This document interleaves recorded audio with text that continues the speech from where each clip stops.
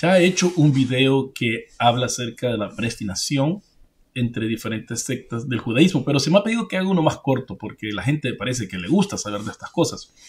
Así que cuando se habla de, la predestinación, usualmente se viene a la mente las discusiones teológicas entre calvinistas y arminianos. Si algo la nueva perspectiva de Pablo nos ha enseñado es que podemos ver más allá de la Edad Media y ver estas discusiones siempre han estado presentes en los creyentes y seguidores del Dios de Israel. Ahora veremos brevemente cómo dentro del judaísmo del segundo templo existen diferentes posturas sobre el tema de la predestinación. Para esto veremos las posturas de las tres principales sectas judías del periodo, los fariseos, los saduceos y los esenios. Vamos a comenzar por los fariseos entonces. Estos creían en la predestinación, pero también creían que el hombre tiene libre albedrío para tomar decisiones. Creían en la soberanía de Dios. Por lo visto, ellos no tienen tanto problema en mantener estas dos posturas en tensión. El concepto de la soberanía divina, aunque mencionado en los salmos, no era algo presente dentro del judaísmo, que los fariseos, quienes eran alrededor de 6.000 en Judea, introdujeron. Josefo también nos dice que en cuestión de su trato con los demás, no eran argumentativos, que su estilo de vida era sencillo, respetaban a los ancianos y que se llevaban bien con los demás pobladores de Judea. Recordemos que Josefo era fariseo, así que su descripción de fariseísmo puede que sea algo prejuiciada. Esto es en contraste con los saduceos, a quienes veremos a continuación. Y si ustedes quieren ver de dónde estoy sacando toda esta información, pueden ver en las notas del video donde va a estar el link a mi blog, donde está esta entrada, donde van a poder leer lo que estoy yo leyendo en este momento. Y también de dónde estoy sacando las, referencias de Josefo. Saduceos. Los saduceos rechazaban la soberanía de Dios en los eventos cotidianos y políticos de las naciones. Esto lo hacían basándose solo en la Torá y rechazando el resto de las escrituras, que es donde vemos que Dios está a cargo de levantar y poner abajo reinos.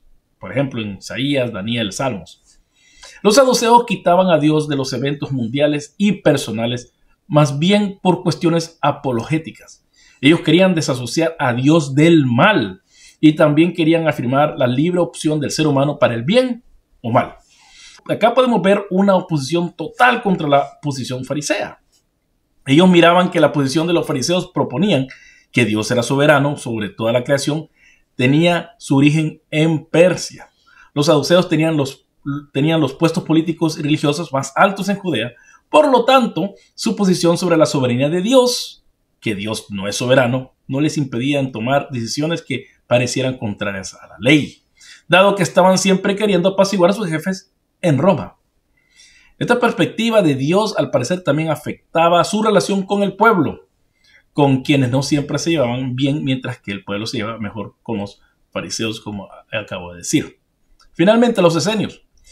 Aunque los esenios no son mencionados en el Nuevo Testamento, aún sirven como para demostrar las diferentes posiciones que eran mantenidas dentro del judaísmo del Segundo Templo.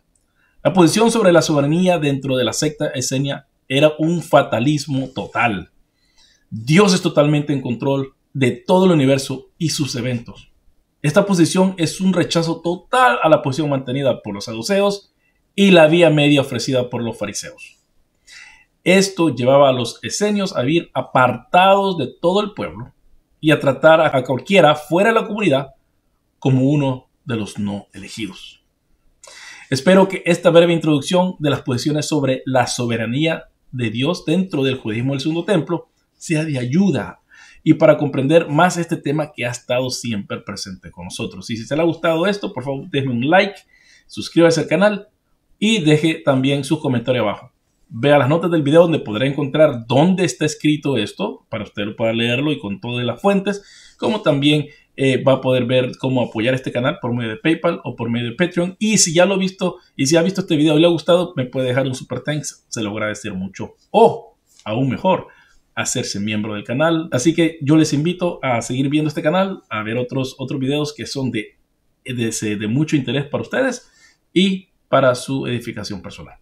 Que Dios les bendiga y hasta la próxima.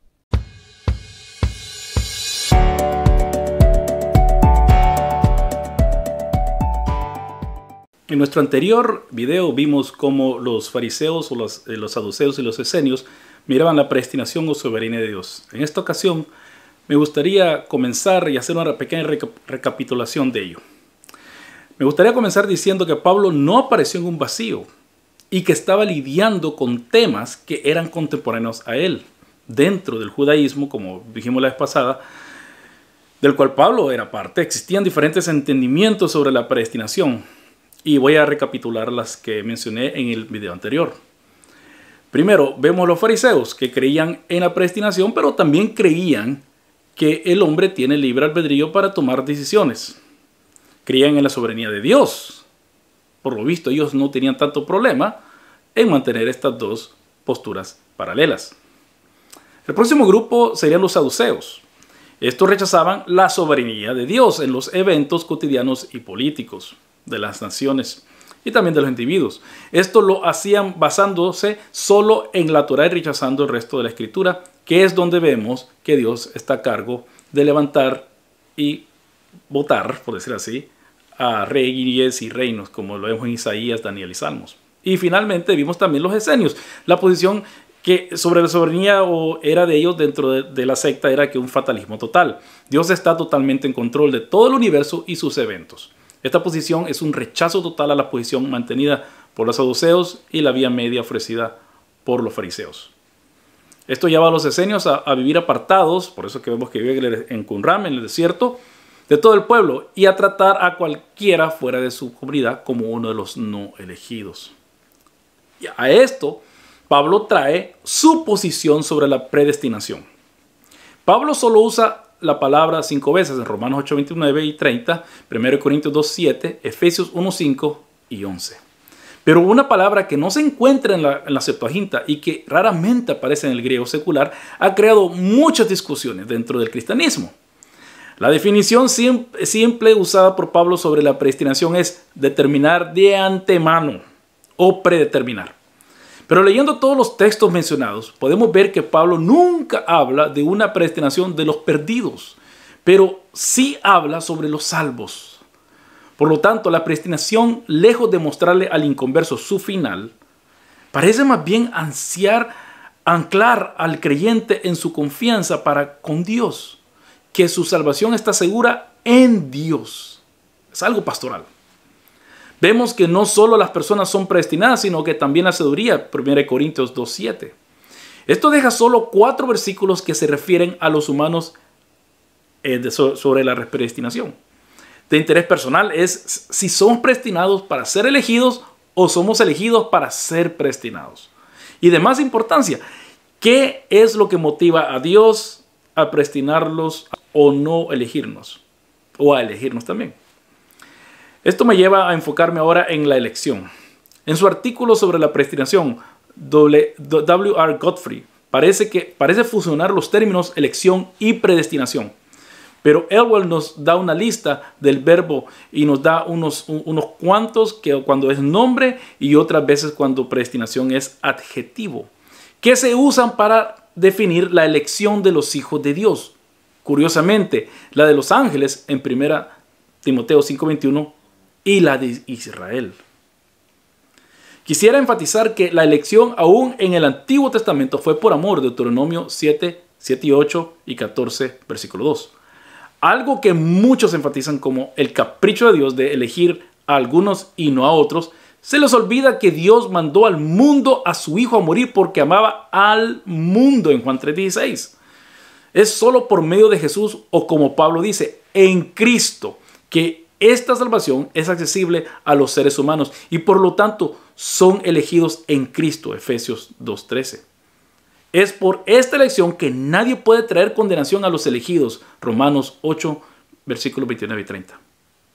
Finalmente, me gustaría mencionar que aunque muchos se quejan que de, de una supuesta injusticia en el tema de la elección, se olvidan el motivo de esa elección, como en el caso de Israel, que fue elegido para hacer luz a las naciones, según Isaías 49, versículo 6. los que forman parte de la iglesia tienen la misma labor, según Romanos 16, 25, 27, Gálatas 3, 8. Dios no quiere que nadie se pierda, 1 Timoteo 2, 4. Negar la doctrina de la elección es negar que, que los que han recibido la salvación tengan la posibilidad de oír el mensaje de salvación por el medio que Dios ha dejado en la tierra, la iglesia. Yo le invito a que vaya a luisjoel.com donde verá todas las notas donde las fuentes donde he tomado este pequeño estudio, como también eh, va a poder ver otros artículos de interés.